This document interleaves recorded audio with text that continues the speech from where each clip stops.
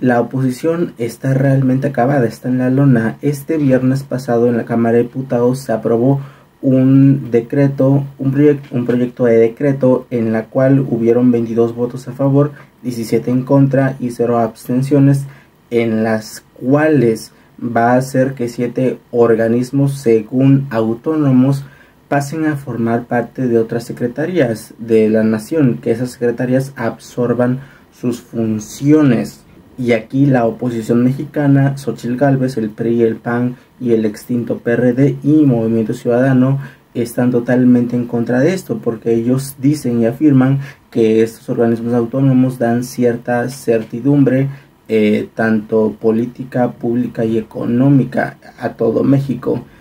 Veamos por favor cuáles son estos siete organismos autónomos y cuáles serán las secretarías que absorberán estas funciones y si realmente, como se dice, estas secretarías eh, podrán hacerlo, ya que con ello se recortarán más de 30 mil millones de pesos a esos organismos según autónomos.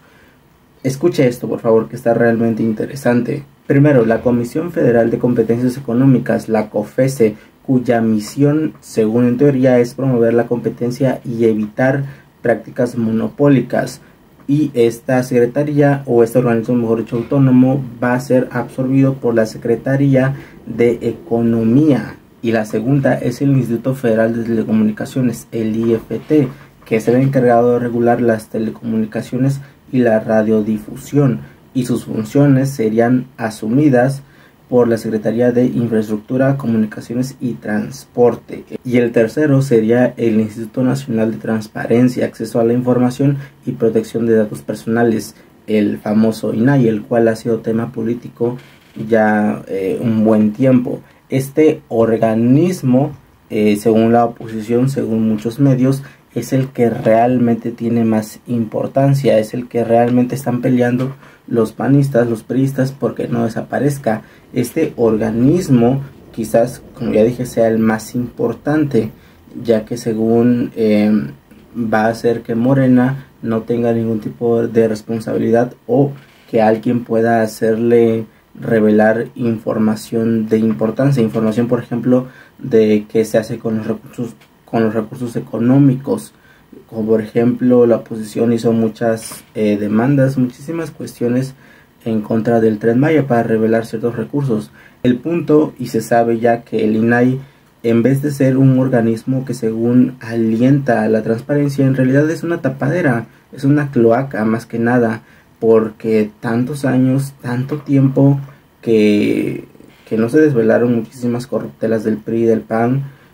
y hasta ahora después de un tiempo ya ya muy lejano ahora sí el INAI se puso a trabajar ya cuando no estaban en el poder. Y bueno el cuarto sería el Consejo Nacional de Evaluación de la Política de Desarrollo el Coneval en el cual según este es un organismo público descentralizado con autonomía y capacidad técnica para generar información objetiva sobre la situación de la política social y la medición de la pobreza en México lo cual según permite mejorar la toma de decisiones en materia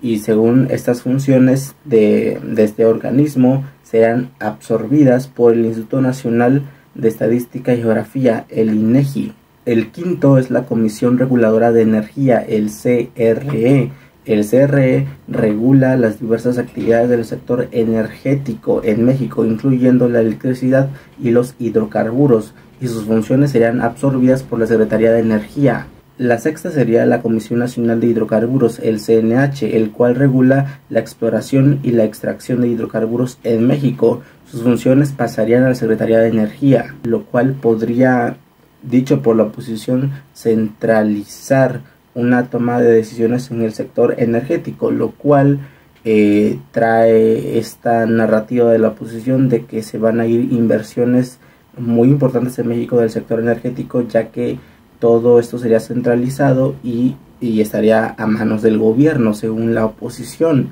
Y bueno, la séptima sería la Comisión Nacional para la Mejora Continua de la Educación.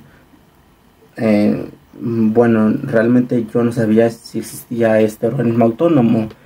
El punto es que según este organismo eh, tiene funciones en las cuales busca evaluar y mejorar la calidad de la educación en México, del sistema educativo. El cual esta va a pasar a cargo de Mario Delgado, de la Secretaría de Educación Pública, la SEP.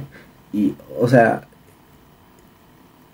o sea, no, no, no creo que pase a mejorar esa secretaría porque va a estar a manos de este impresentable, que para mí es un impresentable que se, que se llama Mario Delgado, el ex presidente de Morena, el cual seguramente ahorita estará con su mejor amigo Sergio Mayer.